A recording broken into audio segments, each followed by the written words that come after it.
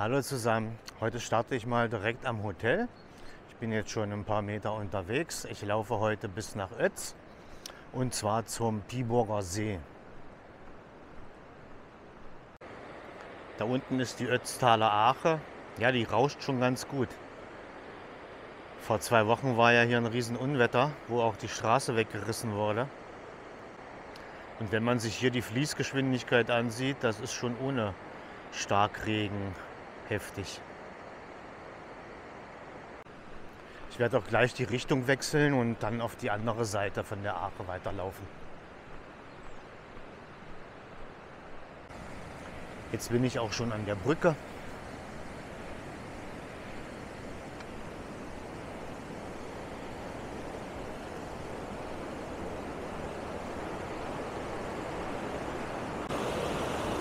Ja, das rauscht schon ordentlich. Als ich mir die Strecke rausgesucht habe, habe ich gedacht, das ist eine einfache Talwanderung. Aber als ich dann das Höhenprofil gesehen habe, da sollen es auch ungefähr 750 Höhenmeter werden heute. Bin ich gespannt, was nachher zum Schluss bei rumkommt. Jetzt geht es erstmal hier schön gemütlich. Flach über breite Wege.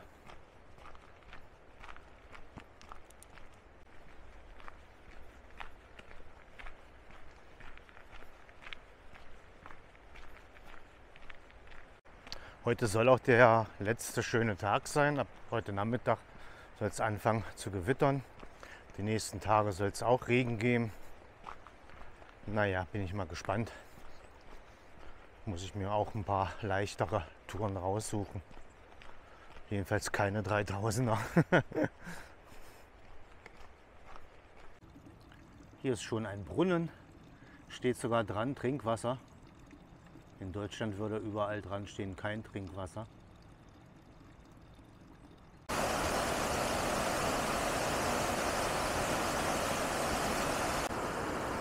Fließt jetzt alles in die Ache. Da ganz oben, so ungefähr in der Mitte vom Bild, da stehen auch ein paar Häuser. Also Hut ab, wer da hoch muss, vor allen Dingen im Winter.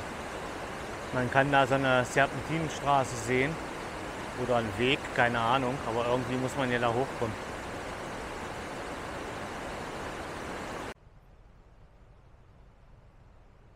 Hier riecht es gerade so schön nach Holz. Sieht aus, als wäre hier ein Sägewerk.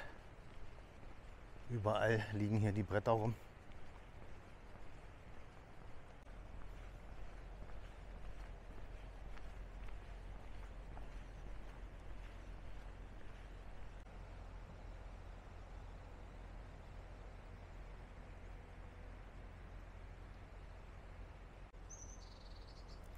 Vorne sind die Hühner.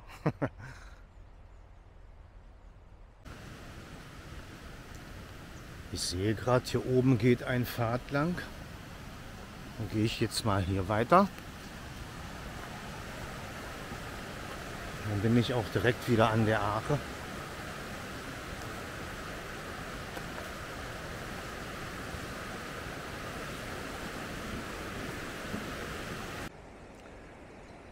Vorne ist jetzt nochmal eine Brücke. Könnte man wieder auf die andere Seite gehen. Aber ich glaube, da muss ich nicht lang.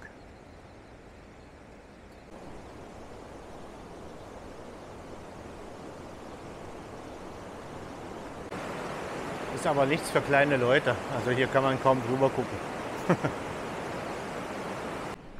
ich laufe jetzt in die Richtung weiter.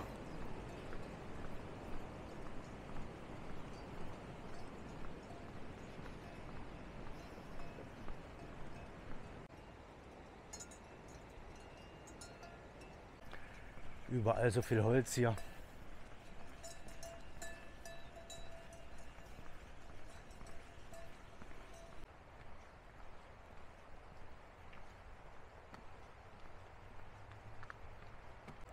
Hier kann man jetzt noch mal besser sehen, da oben auf die Häuser.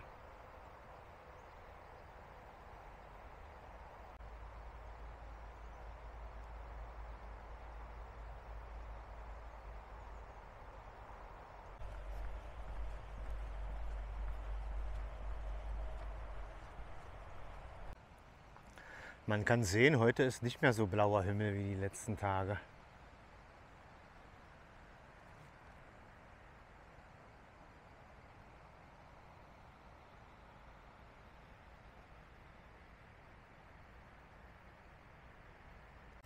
Auf jeden Fall richtig schön hier. Aber irgendwann müsste es jetzt auch mal hochgehen. Ich kann da vorne schon ein paar Wegweiser sehen. Da geht es bestimmt links in den Berg rein.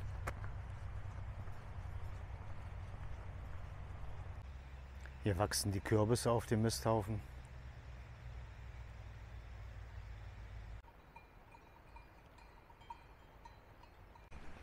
Hier geht es jetzt links weiter.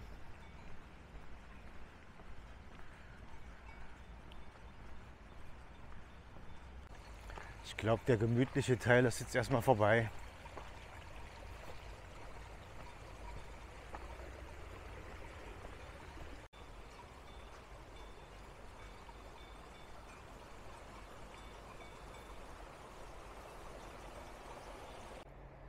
Jetzt gibt es aber wieder mehr schöne Ausblicke.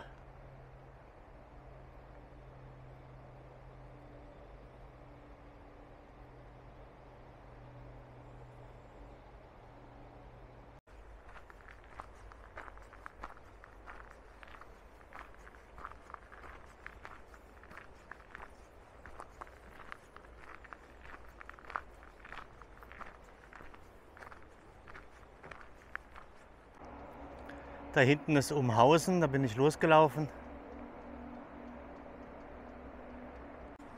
Und hier geht's weiter.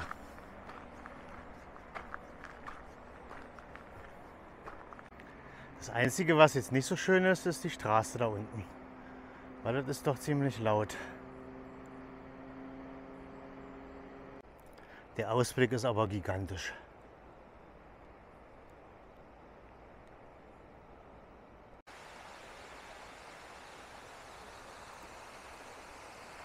Und hier geht's weiter.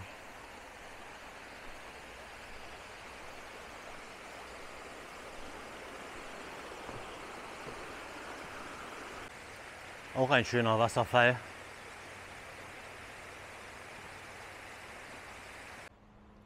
Ich glaube, jetzt geht's hier weiter.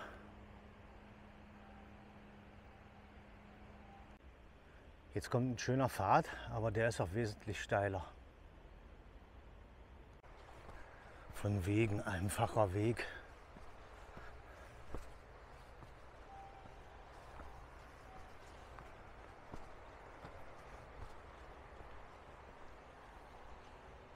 Ich habe aber schon mehr als die Hälfte von der Steigung geschafft und wenn das jetzt hier noch so steil weitergeht, dann bin ich auch ruckzuck oben.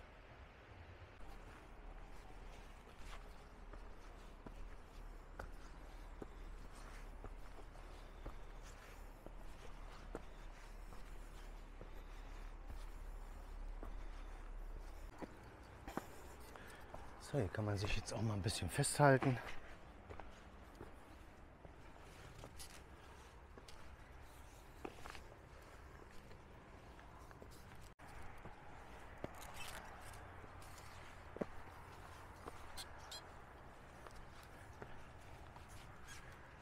Extra so ein paar Stufen reingesetzt.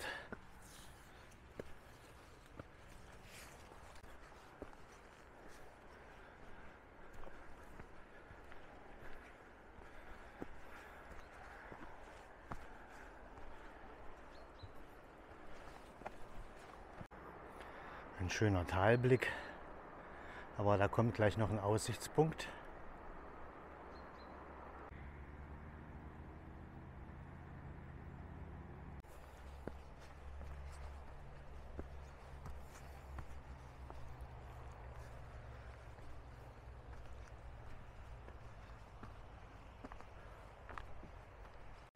Der Pfad ist jetzt erstmal vorbei.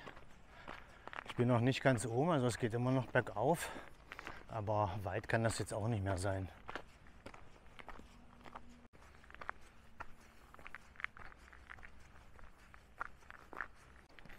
Hier kommt jetzt der richtige Aussichtspunkt. Und auch eine Bank, aber die steht ein bisschen komisch.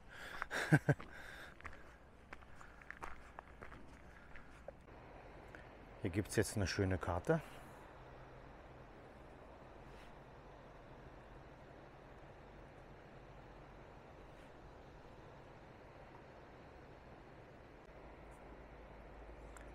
Und hier der Blick dazu.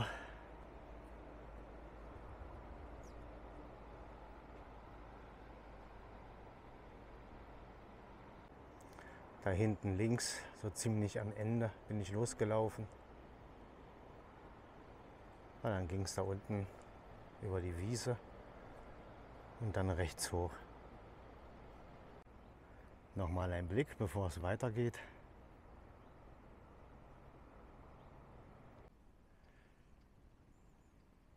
Hier geht jetzt auch nochmal so ein Pfad hoch. Allerdings weiß ich nicht, ob ich da hoch muss, aber ich gehe da jetzt erstmal lang. Ja, irgendwie dachte ich, da oben ist falsch. Jetzt bin ich hier runtergegangen. Aber da ist auch Sackgasse. Auf der Karte ist auch alles nicht so eingezeichnet. Jetzt bin ich hier einmal um Kreis gelaufen.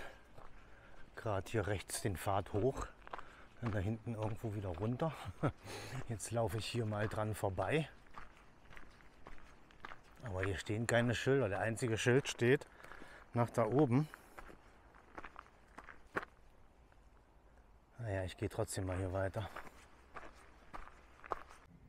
Nachdem ich jetzt ungefähr eine halbe Stunde hier rumgekurft bin, habe ich jetzt die Stelle gefunden, wo ich lang gehen soll. Und zwar genau da lang. Kein Wunder, dass ich das nicht finde. Und da werde ich auch auf keinen Fall lang gehen, weil hier ist kein Schild, kein Nix. Äh, hier ist auch schon, weiß ich nicht, hier laufen nicht viele lang und das ist auch kein offizieller Weg.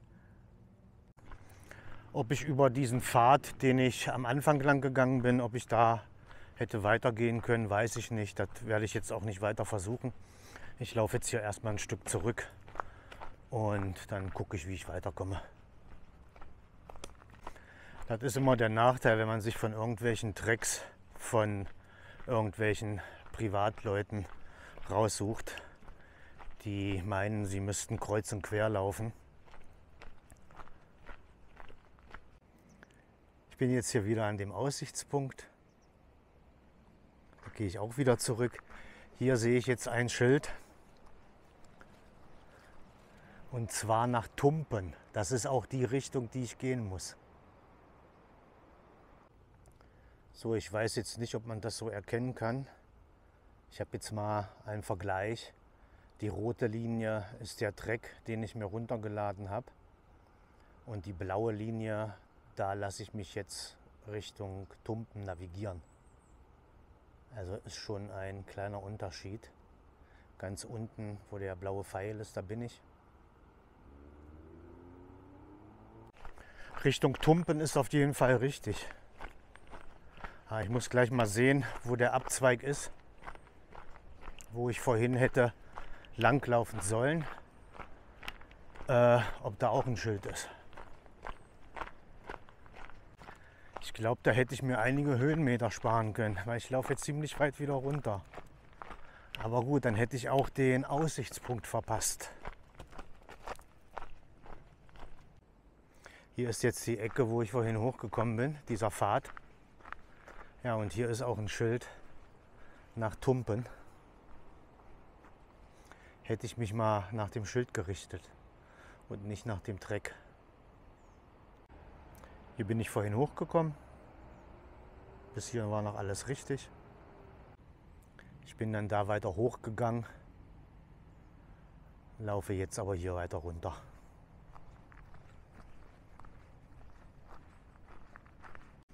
Bis zum Aussichtspunkt ist es aber nicht so weit von hier. Also den könnte man dann noch mitnehmen. Da unten ist dann Tumpen, da geht es jetzt erstmal runter. Hier geht es jetzt runter. Also immer noch den Schildern Richtung Tumpen folgen. Das ist jetzt hier aber auf jeden Fall der offizielle Weg, weil da stand auch ein Schild.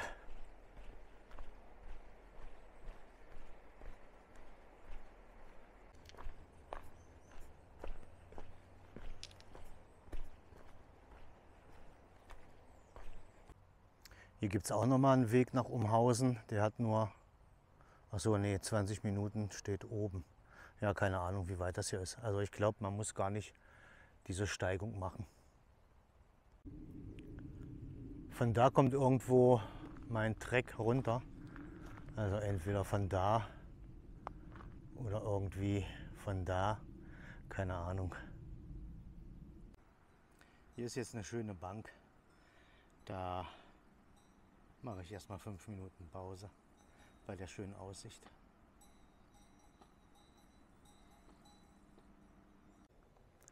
Hier geht es jetzt wieder vom Weg runter, diesen Pfad lang. Ist auch offiziell, also das Schild zeigt auch hier hoch.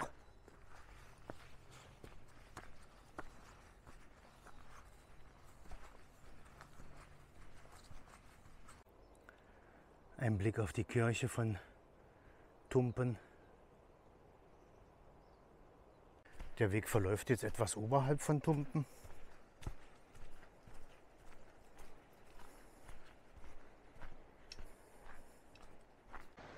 Da oben ist der Tumpener Wasserfall.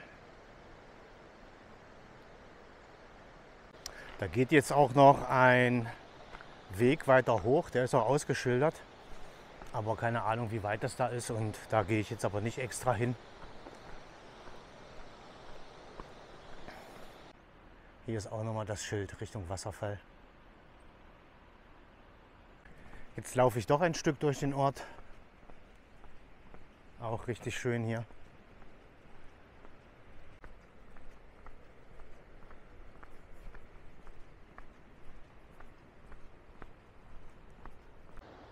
Nochmal ein Blick zum Wasserfall. Jetzt bin ich erstmal wieder im Tal angekommen. Mal schauen, ob hier schon irgendwelche Schilder sind.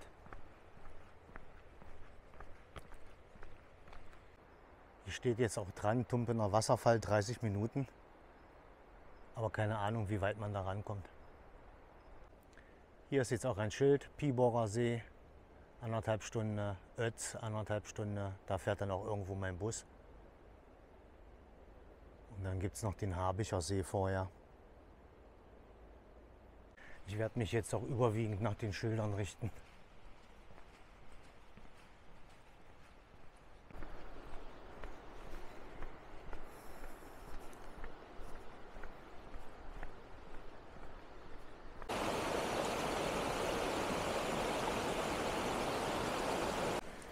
Auch schön. Zwar ein Asphaltweg, aber der stört mich jetzt überhaupt nicht. Vor allen Dingen, wenn man hier so schön weit schauen kann.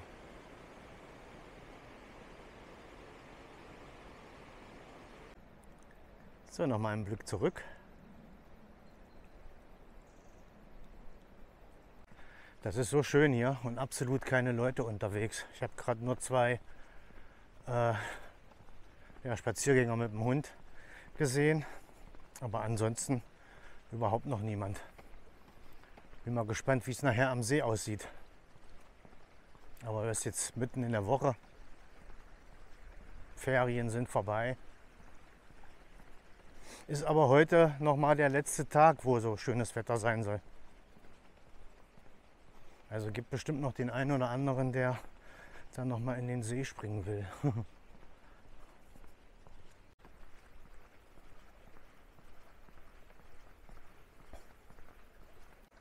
Hier ist jetzt wieder kein See angeschrieben, aber ich denke mal Richtung Ötz wird wohl richtig sein.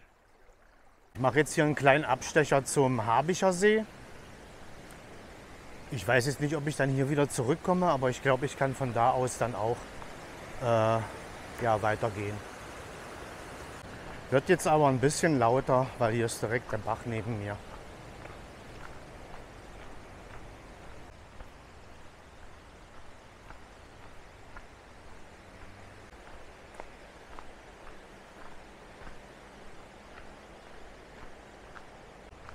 Geht jetzt aber auch ganz gut runter.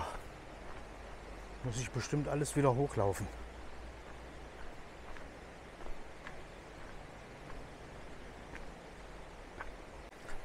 Da unten kann man schon den See sehen.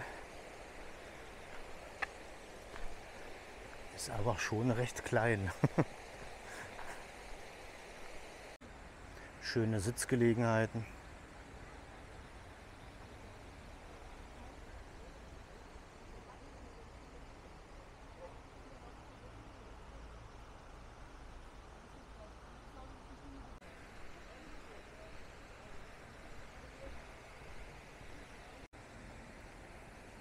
Ja, schöner kleiner See.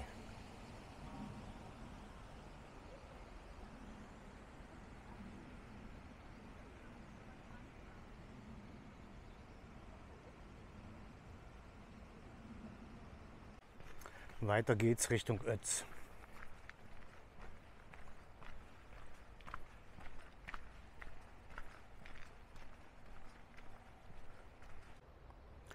Kühle Gebirgsluft. Das habe ich gerade richtig gemerkt, wo ich hier vorbeigelaufen bin. War auf einmal richtig kalt. Da ist auch noch ein Geheimeingang.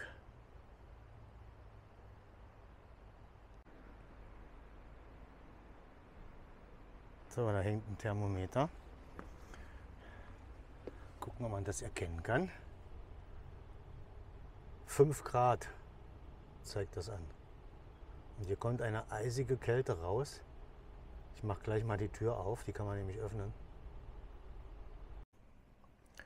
Jui ist schon wirklich kalt. Sieht man hier noch irgendwas? Wahrscheinlich nicht. Ne, hier ist der Felsen. Weiter geht es hier auch nicht, aber das kommt schon hin mit den 5 Grad. Wahnsinn. Ich sehe gerade, ich muss gleich noch mal eine Pause machen, weil mein Akku macht langsam schlapp von der Kamera. Die muss ich gleich mal nachladen.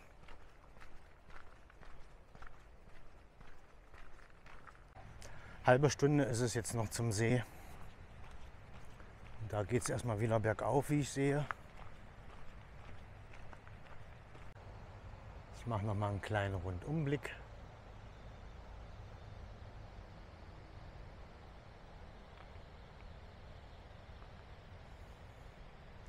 Da drüben wieder die Häuser mitten im Berg.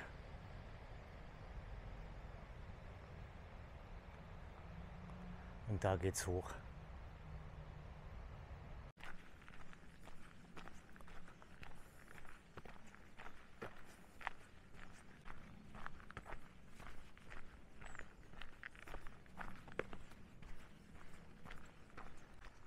Die ganzen Steinbrocken hier mit Moos bedeckt. Schön.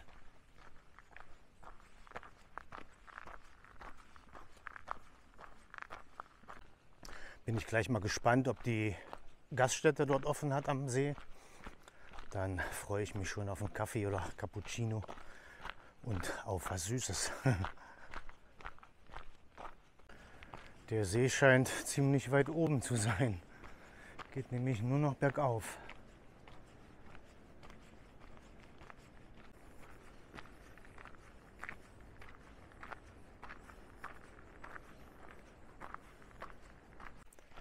Ich sehe schon den Parkplatz und auch den See.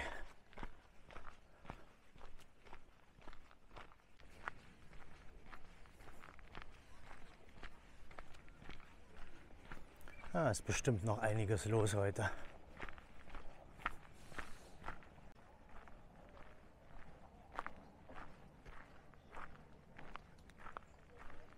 So, Badeanlage kommt man bestimmt nur mit Eintritt rein.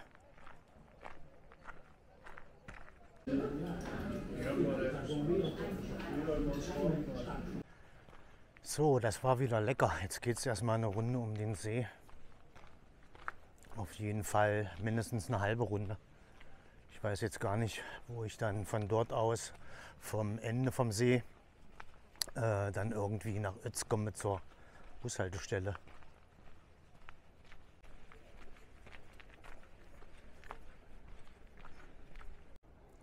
Da drüben ist das Restaurant, da war ich gerade. Und links davon ist die Badeanlage.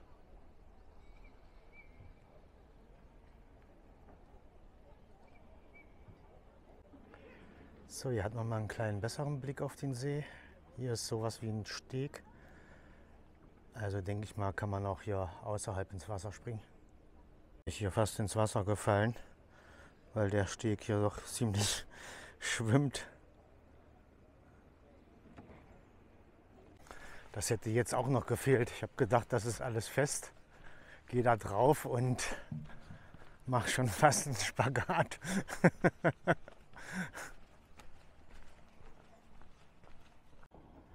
das ist mal ein schöner Ausblick hier.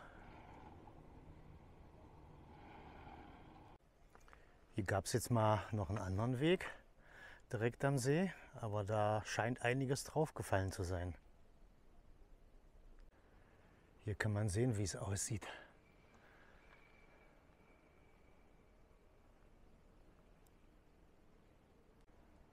So, noch mal einen Blick zurück.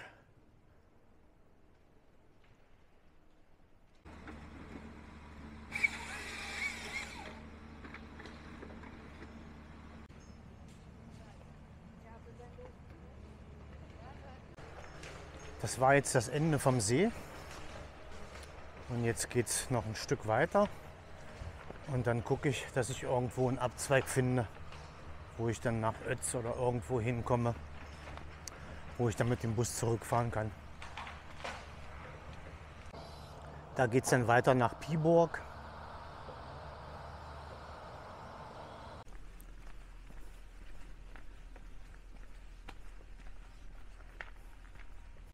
Hier ist jetzt auf jeden Fall mehr los am See aber alles noch gut.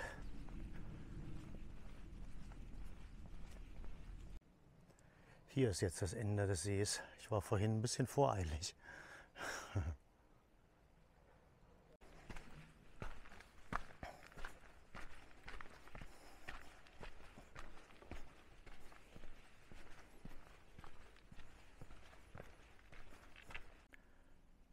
Von da oben komme ich her. Ich habe jetzt den Rundweg am See verlassen und laufe jetzt Richtung Ötz.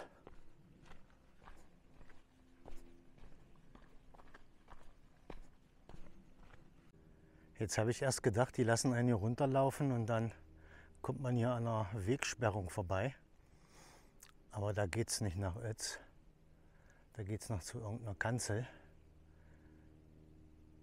Ich laufe jetzt den Weg hier weiter.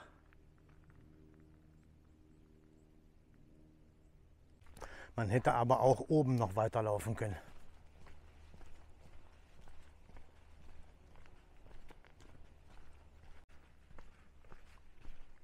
Sieht auch wüst hier. Ist auch einiges runtergekommen.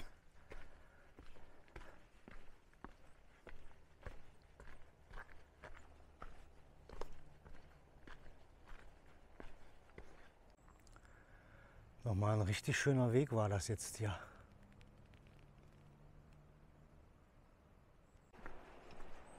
Bin jetzt erstmal unten angekommen, also fast unten. Es geht jetzt über die Landstraße runter. Es wird aber schon lauter, also man hört die Straße schon. Hier auch wieder ein schöner Blick ins Tal. Ich glaube, Ötz ist da auf der Seite irgendwo. Ich muss jetzt aber erstmal hier die Straße weiter runter.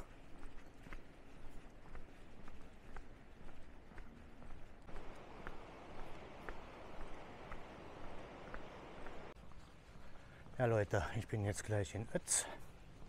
Werde dann nur noch die Bushaltestelle suchen. Ich habe jetzt ungefähr 19 Kilometer inklusive Verlaufen, was am Anfang war. Also ihr könnt zum See laufen, äh, von Biburg oder direkt von Ötz. Müsst ihr nicht von Umhausen. Ich bin nur von da losgelaufen, weil ich da auch mein Hotel habe. Also ich danke fürs Zuschauen und bis zum nächsten Mal.